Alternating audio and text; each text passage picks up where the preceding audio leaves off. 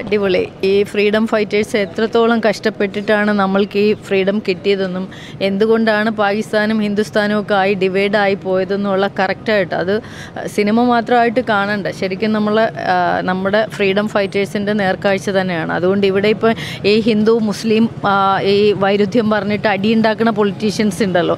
എല്ലാവരും പോയി കാണണം. കാരണം സഹോദര്യത്തോടെ ജീവിച്ചിരുന്ന നമ്മുടെ നാട്ടിൽ എങ്ങനെയാണ് ഈ ഡിവൈഡ് വന്നതെന്നും ഈ അഖണ്ഡ ഭാരതത്തെ എങ്ങനെയാണ് ഇത്രയും ഖണ്ഡിച്ച് ഈ ഈ പരുവത്തിലാക്കിയത്. എന്നിട്ടും ഇപ്പോഴും തുറന്നുകൊണ്ടിരിക്കുന്നതാണ് നമ്മുടെ രാഷ്ട്രീയക്കാർ അതാണ് ശരിക്കും നമ്മളെ കണ്ണ് തുറക്കണം. യങ് ജനറേഷന് യൂത്ത് എല്ലാവരും ഈ സിനിമ കാണണം വീട്ടിലുള്ള എല്ലാവരും കാണിക്കണം. ബിക്കോസ് ഇത് ഇതാണ് ശരിക്കും നടന്നത്. പിന്നെ ഗാന്ധിജിയുടെ അസാസിനായിട്ട് നമ്മൾ എപ്പോഴും കേൾക്കുന്ന ഒരു കാര്യം ഷൂ നിക്കി സവർക്കർ അങ്ങനെ ഇങ്ങനെയാന്ന് പറഞ്ഞിട്ട്.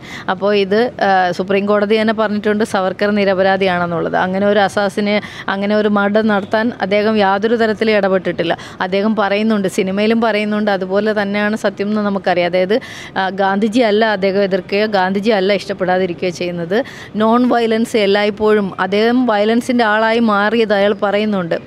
ഫൈറ്റ് ഫൈറ്റ് ചെയ്യുന്നതും വയലൻസ് എടുത്തതും എന്തിനു വേണ്ടിയിട്ടാണ്? നമ്മുടെ ഇന്ത്യയ്ക്ക് ഫ്രീഡം കിട്ടാൻ വേണ്ടിയിട്ടാണ്. അപ്പോൾ എല്ലായ്പ്പോഴും നമ്മൾ നോൺ വയലൻസ് പറഞ്ഞ് സമാധാനം നല്ലതാണ്. പക്ഷെ ഞാനും ഒക്കെ പീസിന് വേണ്ടി പ്രവർത്തിക്കുന്ന ഒരാളാണ്. വാറിന് അഗേൻസ്റ്റായിട്ട് ഒരു എൻ ജി ഒ നടത്തുന്ന ഒരാളാണ്. അപ്പോൾ നമ്മൾ ഇതൊക്കെ കാണുമ്പോൾ ശരിക്കും ചില സമയത്ത് നമ്മളെ ഒരു കരണം അടിക്കുമ്പോൾ മറുകരണവും കാണിക്കണം എന്ന് പറഞ്ഞിട്ട് നമ്മൾ പഠിപ്പിക്കുന്ന യേശുവിന്റെ നാട് കൂടിയാണ്. പക്ഷേ എന്താ പറയുന്ന ചില സമയത്ത് നോൺ വയലൻസ് വേണ്ടെടുത്ത് നോൺ വയലൻസ് ഇല്ലെങ്കിൽ നമ്മുടെ അമ്മയും പെങ്ങളെയൊക്കെ കയറി പീഡിപ്പിക്കും. മനസ്സിലായില്ലേ?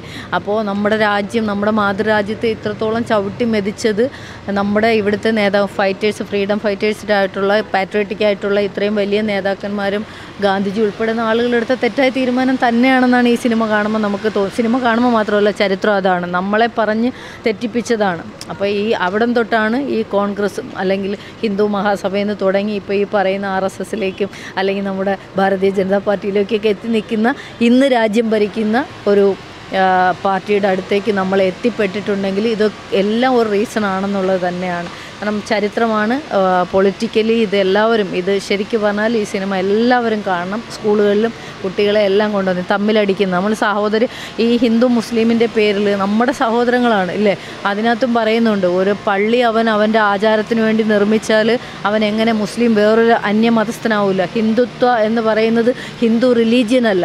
ഹിന്ദുത്വമാണ് ഹിന്ദുസ്ഥാനിൽ ഹിന്ദുത്വമാണ് നമ്മൾ മുന്നോട്ട് വയ്ക്കുന്ന ആശയം. അത് തന്നെയാണ് എനിക്കും എല്ലാവരോടും പറയാനുള്ളത്. ഈ ഹിന്ദുസ്ഥാനിൽ നമുക്ക് ജീവിക്കാൻ കിട്ടിയ സൗഭാഗ്യ നിമിഷം ഏറ്റവും മനോഹരമായിട്ട് ജീവിച്ച് ആ- ഒരു യൂണിറ്റിയോടുകൂടി ജീവിച്ച് തീർക്കുക. പൊളിറ്റിക്സ് ഇലക്ഷൻ ടൈമിൽ നിങ്ങൾ എന്തോ അയക്കും എന്നിട്ട് ഇപ്പോഴും കണ്ടില്ലേ ഇപ്പോൾ ഇവിടെയും തന്നെ കണ്ടില്ലേ? ഏഹ് ഇലക്ഷന്റെ പോസ്റ്റർ ഒട്ടിക്കാൻ പോയി ഡി വൈ എഫ് ഐയുടെ ഒരുത്തം പോയിട്ട് തീ പറ്റിച്ചിട്ട് ബി ജെ പിക്കാരന്റെ കട തീടാൻ പോയതാണ്. അവനെ വെന്ത്. എന്ത് എന്തുട്ട് പൊളിറ്റിക്സും കാര്യങ്ങളാണ് ഇപ്പോൾ ഇവിടെ നടക്കണതെന്ന് സത്യം പറഞ്ഞാൽ ലജ്ജയാണ്. അതുകൊണ്ട് സഹോദരങ്ങൾ ലോക്സഭാ ഇലക്ഷനൊക്കെ വരുവാണ്. സിനിമ ഈ സിനിമ അതിന് മുന്നേ ഈ പാർട്ടിയിലുള്ള അടിമകളെയൊക്കെ കൊണ്ടുവന്നൊന്ന് കാണിക്കണം. ഈ കമ്മി കൊങ്ങി സംഗീതമൊക്കെ വിളിക്കുന്നില്ല? എല്ലാവരും വന്ന് കാണേണ്ട ഒരു സംഭവം തന്നെയാണ്. അങ്ങനെ വലിയ ഇതൊന്നുമില്ല.